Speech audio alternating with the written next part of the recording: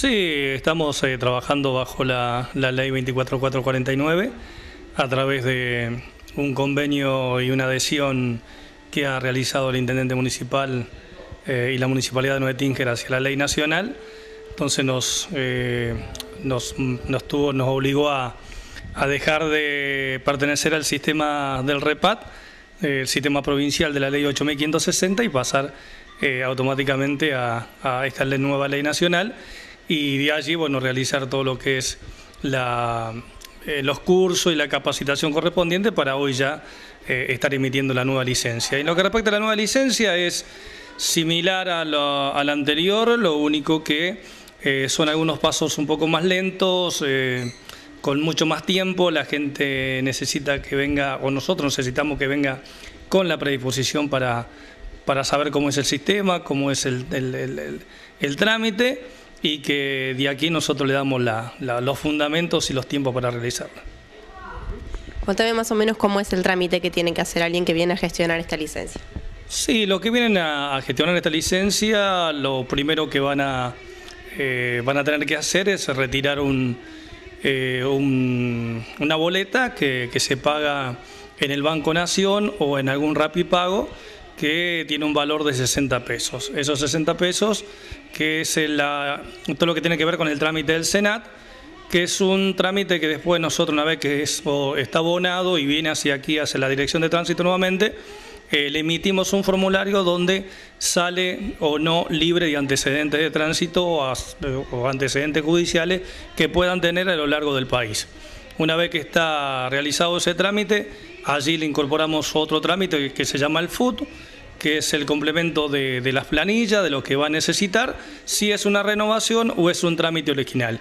Si es una renovación, se le va a imprimir el FUT correspondiente y allí van a tener que trasladarse al centro de salud donde lo pueden revisar eh, o el doctor San Bruno o el doctor González, que son los únicos dos médicos homologados por la Nación para firmar eh, dicho formulario. Una vez que tenga eso, ya viene nuevamente hacia aquí y realizamos la última parte para terminar entregándole la licencia correspondiente. y en caso de principiante me comentabas recién que tienen que hacer un curso.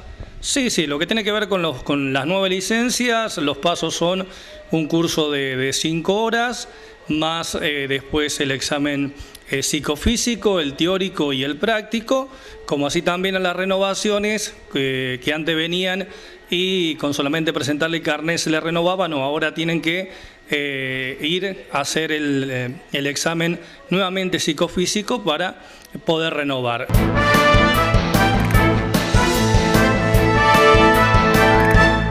Polémica que se estuvo entablando en este último tiempo en, Córdoba y donde hemos tenido que salir a aclarar, eh, con respecto a si esta licencia contempla lo que venía realizando el REPAC, que es la quita de puntos.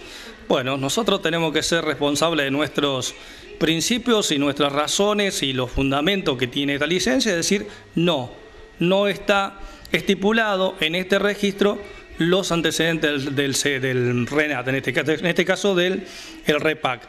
Lo que sí tiene todo lo que es el resto del país menos Córdoba. ¿Por qué menos Córdoba? Porque Córdoba no está adherido a la ley nacional. Entonces, mientras Córdoba no se adhiera a la ley nacional, eh, este sistema no va a estar contemplado, por lo menos eh, por el momento. Sí se ha adherido en estas últimas horas Santa Fe, que termina siendo la provincia más cercana que tenemos nosotros aquí para que se pueda emitir algún tipo de control o se pueda realizar algún tipo de control en el momento de pasar de provincia a provincia. Pero bueno, esto es cuestión de tiempo, es decir, cuando arrancó el REPAC hace ocho años pensamos que era algo imposible. Creo que en el tiempo se consolidó.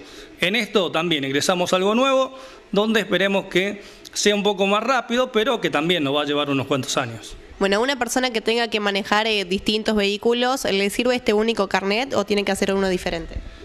Eh, la, licencia nacional solamente permite una sola eh, licencia por persona. Sí, se puede realizar es que la persona que tenga un carnet, por decirte B1, para conducir un auto, una camioneta, una, camioneta, una casa robante motorizada, puede incorporar a dicha licencia una categoría por decir a uno a dos de moto. Lo que sí, es decir, se puede hacer tranquilamente, puede tener un G, para manejar un vehículo agrícola, un transporte agrícola, puede tener un E1, siempre y cuando complete los exámenes y las reglamentaciones que tiene cada tipo de licencia o cada categoría de licencia. También se abre la posibilidad de que pueda eh, tener la, la facultad de tener hasta cuatro categorías diferentes, siempre y cuando el sistema le va a decir, bueno, necesita para conducir dichos vehículos, cada una de las categorías, diferentes reglamentaciones. Si pasa lo que son los exámenes psicofísicos, teóricos y prácticos, no tiene ningún tipo de problema.